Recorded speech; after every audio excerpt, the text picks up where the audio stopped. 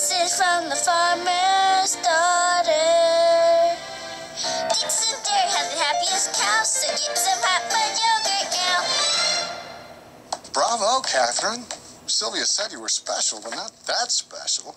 And I haven't heard anyone sing that song any better. Thanks, Mr. Coulter. Do you want me to do it exactly like that when we make the commercial? Commercial. A commercial.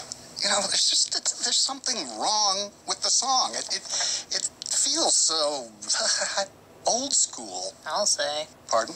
Look, it's nice and everything, but that song isn't gonna make me and my friends run out and buy your yogurt. Really? What what? You were awesome, Katherine. Thanks, Angie. You won't believe how good she was, Dad. She was like a pro. I'm glad it went well, Katherine. Thanks, Daddy. I'm going to get that commercial for sure. Well, now let's not get ahead of ourselves. She's a cinch. They loved her. And when we left, the director said he'll be talking to Sylvia. I can't wait to tell Mommy. I wonder what she's going to say. Oh, plenty. But not in front of you. Oh, Sylvia. Hello, Dr. Bindlebeep. Um, did the girls give you the lowdown on how everything went today? Yes, but did Katherine really do as well as they say? Yes, she did. And did the director love her as much as they say? Yes, he did. So, my Katherine got it? No, she didn't. Pardon? Well, they want to go with Angie. Who knew?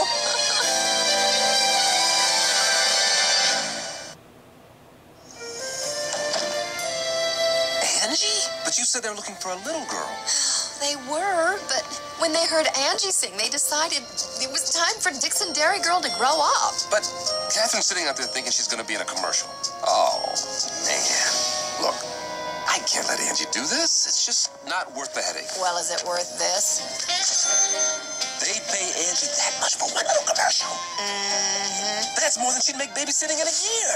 But as much as they like Angie, they'll find someone else if I don't give them an answer tonight. Now, are you prepared to take that money away from Angie without even telling her about it?